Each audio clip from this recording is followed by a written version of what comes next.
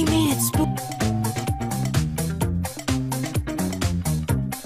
This is better than my fanfic! Gotta stay.